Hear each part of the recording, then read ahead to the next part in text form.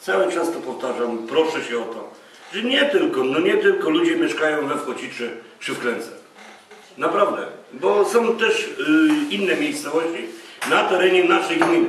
Jest Szypów, jest Koni, i po prostu są Koniczki, Stramice, Skoraczew jest. Nie, bo my musimy pompować w Klękę, czy musimy pompować we Wchocicze, czy w Nowym Miasto.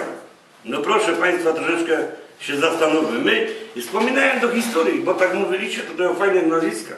Ja tylko Wam powiem chwileczkę, jaki jest piękny pałac we Szypowie. Nie wiem, czy Państwo byliście. I jaka jest wyremontowana sala. Na okolicy takiej nie macie nigdzie. W Klęka na pewno nie ma i nie będzie mieć, Panie Marku.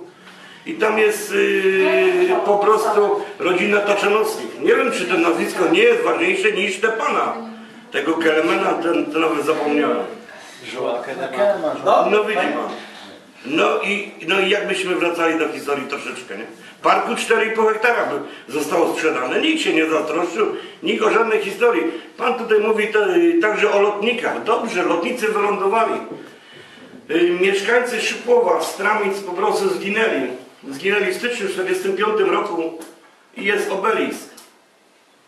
A ja o tym na terenie Osieka, ja ze znajomymi dziećmi byłem, Gazeta Jarocińska pisała o, o tym sprawozdania. O takich rzeczach się nie pamięta, że nasi ludzie zginęli w czasie wojny, ale że jakiś tam lotnik, nie wiem, czy mu paliwa mu zabrakło i, i po prostu wylądował.